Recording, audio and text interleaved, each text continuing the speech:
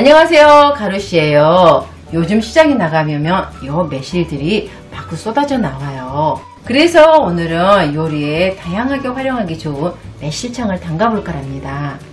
그럼 재료는 이렇게 준비해 주시면 된답니다. 매실은 요새 무농약으로 많이 나오긴 한데 혹시 염려가 될 수 있으니 베이킹소다를 푼 물에 살짝 헹궈 줄게요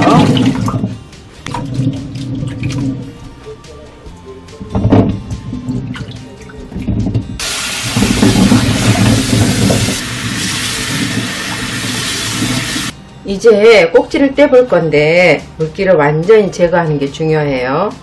이게 수분이 조금이라도 있으면 이거 구멍 사이로 또 이렇게 물기가 들어가서 나중에 곰팡이도 생기고 부패하기 쉽겠죠? 번거롭게 이걸 꼭 떼야 되냐고 물어보시는 분들 많은데 이걸 꼭 떼야 돼요. 이게 들어가 버리면 신맛과 단맛이 있는 매실청이 쓴맛이 나기 십상이거든요. 그러니까 꼭 떼어주세요. 그리고 좋은 청매실을 고르는 팁을 드리자면 6월 6일부터 6월 20일 사이에 나온 매실들이 단단하고 씨가 야물어서 좋답니다.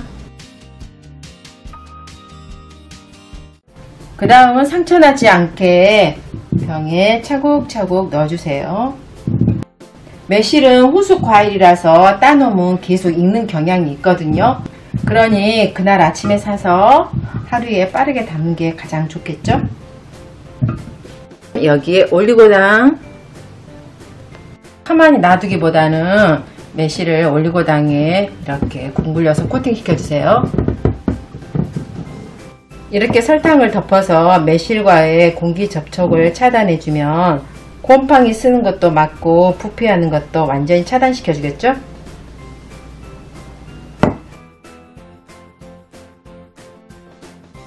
제가 경험상으로는 설탕만 담갔을 때는 아무래도 설탕 밑에가 쭉 가라앉아 있더라고요. 그래서 자꾸 녹여주려고 젓다 보면 매실에 상처가 입혀서 매실청이 아무래도 좀 탁하게 나오더라고요. 근데 올리고당을 밑에다 이렇게 깔아주고 설탕을 덮어주면 전혀 설탕에 가라앉을 염려 없이 자연스럽게 녹아서 훨씬 더 깔끔하고 깨끗한 매실청이 되더라고요. 그래서 아무래도 올리고당과 설탕을 섞어주는 게 가장 좋은 것 같아요. 처음 숙성시킬 때 주의해야 될게 있는데 올리고당과 설탕이 분해되면서 나오는 가스가 있거든요. 잘못하면 가스가 차서 폭발할 위험성이 있으니까 면포나 창호지로 뚜껑을 덮어준 다음 2, 3일 정도는 꼭 가스를 빼주셔야 돼요. 2, 3일 뒤부터는 이 면포 걷고 뚜껑 덮어서 반음지에서 1년 동안 그대로 놔두시면 된답니다. 예전에는 매실씨에서 독이 나온다고 그래서 100일 되면 무조건 건져냈거든요.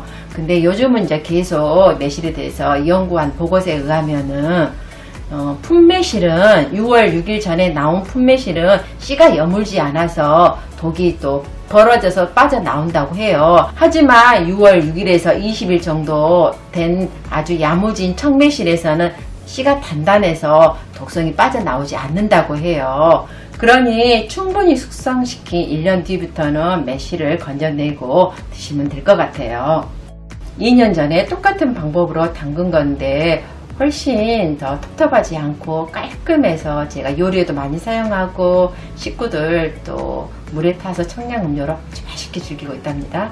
그래도 나는 정말 뭐 독, 이 몸에는 좋다고 하는데 독성이 역려 되신 분들은 이 매실장 꺼내고 더 충분히 숙성을 시켜서 드시면 아무런 지장 없고 맛있게 즐길 수 있으실 것 같아요.